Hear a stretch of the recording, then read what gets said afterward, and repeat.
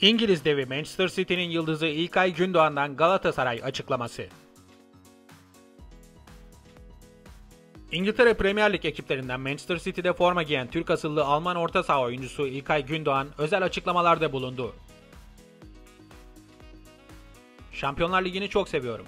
Hepimiz sevmiyor muyuz? Benim için her zaman dünyanın en büyük turnuvası olmuştur. Kupa ve marşın ötesinde çocukluğuma uzanan anılar var. 2000'lerin başındaki Şampiyonlar Ligi gecelerinin özellikle benim gibi göçmen ailelerden gelen çocuklar için çok özel olduğunu söyleyebilirim.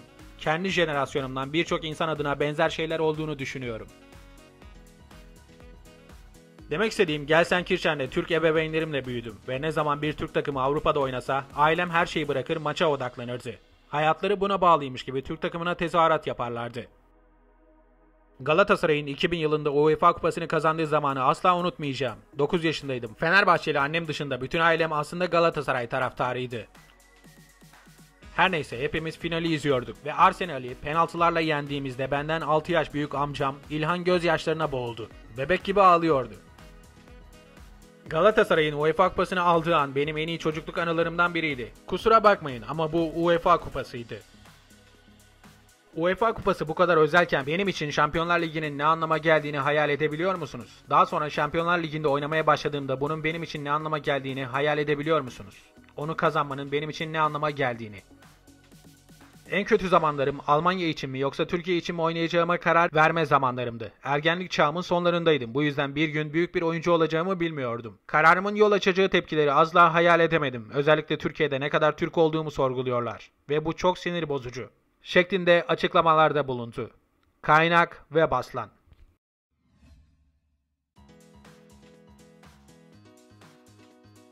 Galatasaray'ın yeni başkanı Fatih Terim Galatasaray'da başkanlık seçimine kısa bir süre kala kulislerde Fatih Terim'in adı anılmaya başlandı.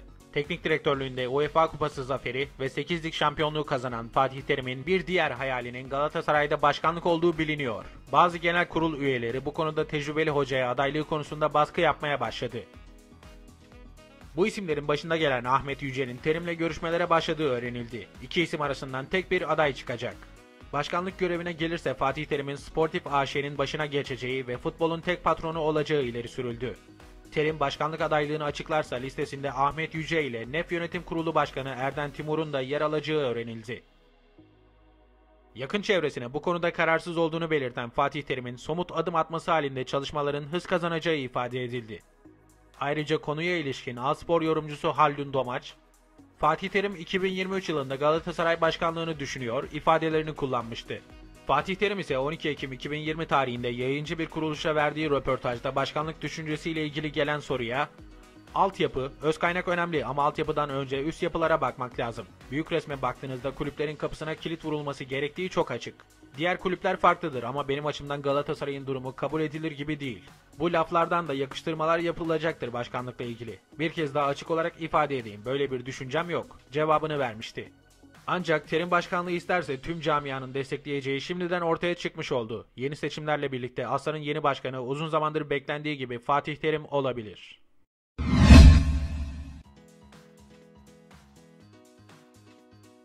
Fatih Terim'den yerli süper yetenek için telefon. Spor Toto Süper Lig'de şampiyonluk mücadelesi veren Galatasaray bir yandan da gelecek sezonun planlamasını yapıyor. Aslan'ın hedefindeki isim Ankara Keçiören gücünden Barış Alper Yılmaz. Fatih Terim genç yıldızı mutlaka kadrosunda görmek istiyor. Bir sonraki sezonun kadro planlamasını sürdüren Galatasaray, Ankara Keçiören gücünde forma giyen 20 yaşındaki Barış Alper Yılmaz'ı transfer etmek istiyor. Sezon başında Erzincan Spor'dan kadroya katılan Kerem Aktürkoğlu'nun gelişiminden memnun olan Sarı Kırmızılı ekipte teknik direktör Fatih Terim'den Barış Alper için hamle geldi. Ajans Spor'dan Salim Marav'ın haberine göre Terim, oyuncunun gelişimi ve özellikleriyle ilgili Keçiören gücü yetkililerinden bilgi aldı. Sezon başında Erzincan Spor'dan Kerem Aktürkoğlu'nu kadrosuna katan Galatasaray, Ocak ayında Henry Onyekuru ve Mustafa Muhammed gibi genç isimleri de transfer etmişti.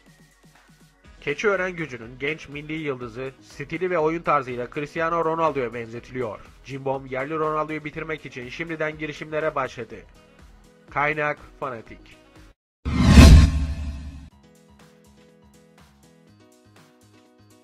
Galatasaray paylaşılamıyor.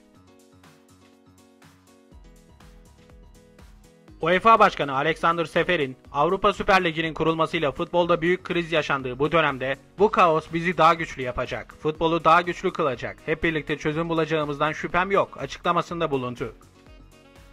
Seferi'nin konuşmasında UEFA organizasyonlarının Atalanta, Glasgow Rangers, Dinamo Zagreb ve Galatasaray'a ihtiyacı var. Sözü dikkat çekti. Bilindiği üzere son zamanlarda Galatasaray'ın adı sık sık Avrupa Süper Ligi ile anılıyor. Galatasaray'ın Avrupa Süper Ligi organizasyonuna katılması UEFA cephesini de korkutuyor. UEFA Başkanı Alexander Seferin Avrupa futbolunun geleceğiyle ilgili önemli açıklamalarda bulundu. Futbolun yaşanan kaostan daha güçlü çıkacağını savunan Seferin, UEFA organizasyonlarının Galatasaray'ın da içinde bulunduğu Avrupa kulüplerine ihtiyacı olduğunu vurguladı. UEFA Başkanı'nın açıklamaları tam olarak şu şekildeydi. Bu kaos bizi daha güçlü yapacak, futbolu daha güçlü kılacak. Hep birlikte çözüm bulacağımızdan şüphem yok. UEFA organizasyonlarının Atalanta, Rangers, Dinamo Zagreb ve Galatasaray'a ihtiyacı var. Herkesin bir şansı olduğunu bilmemiz gerekiyor. Hayalleri canlı tutmamız gerek. Şu anki büyük kulüpler geçmişte büyük kulüp değildi. Bencillik dayanışmanın yerini aldı. Para zaferden, açgözlülük ise sadakatten daha önemli hale geldi. Finansal fair play'i kaldırmayı planladığımız yönünde haberler okudum. Böyle bir şey olmayacak ancak sistemi yeni düzene uyarlamamız gerekiyor. Bu meydan okumalara karşı dik duracağız. Bu krizden eskisinden olduğumuzdan daha güçlü çıkacağız. Bazıları için taraftarlar müşteriye, ligler ise ürüne dönüştü. Avrupa Süper Ligi projesiyle çok büyük bir hata yaptınız. Fikrinizi değiştirmek için hala zamanınız var. Herkes hata yapar şeklinde açıklamalarda bulundu. Kaynak Fanatik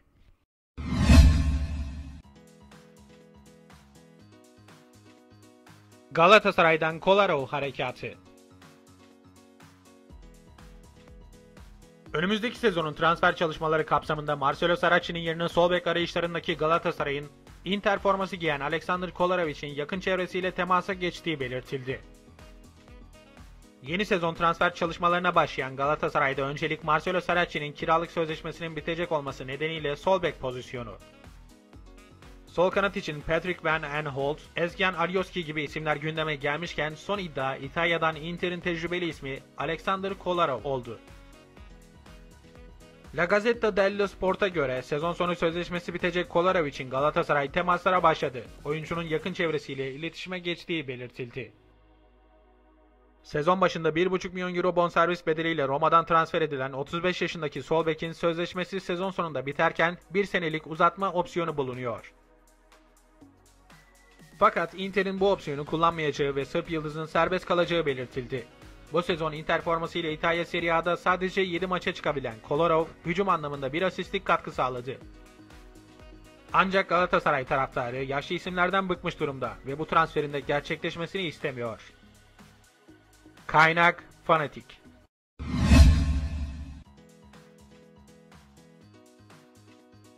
Galatasaray'da son dakika transfer gelişmesi. Evander Ferreira için görüşmeler başladı.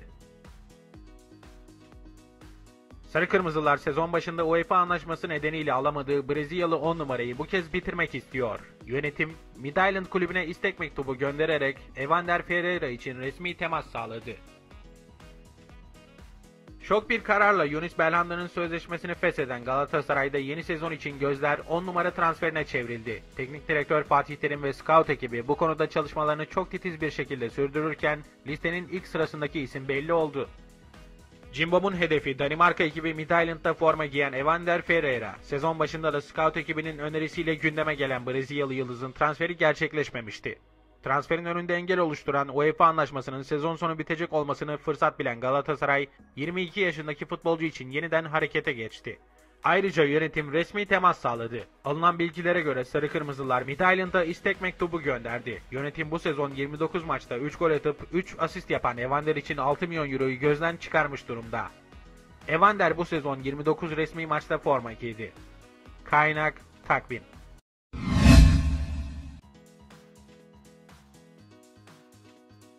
Falcao Inter Miami'ye gidecek. Galatasaraylı Marcelo Saracchi sarı kırmızılı kulüpten ayrılacağı konuşulan Radamel Falcao'nun yeni adresini açıkladı. Arjantin basınına konuşan Uruguaylı futbolcu, Falcao'nun önümüzdeki sezon ABD ekibi Inter Miami'de forma giyeceğini işaret etti. Kolombiyalı yıldızın adı devre arasında da ABD ekibiyle anılmış ancak transfer gerçekleşmemişti. Galatasaray'ın Uruguaylı sol beki Marcelo Saracchi, takım arkadaşı Radamel Falcao'nun sarı kırmızılı kulüpteki geleceğiyle ilgili konuştu. Arjantin basınından Ole'ye açıklamada bulunan Saracchi, Falcao Arjantin'e geri dönmeyecek. Eski kulübü River Plate'in maçlarını takip ediyor. Ama River'a dönmeyi düşünmüyor. Önümüzdeki sezon onun MLS ekibi Inter Miami'ye gidebileceğini söyleyebilirim. Diyerek yıldız futbolcunun futbol hayatına Amerika'da devam edebileceğinin sinyalini verdi. 35 yaşındaki Kolombiyalı yıldızın adı özellikle devre arası transfer döneminde David Beckham'ın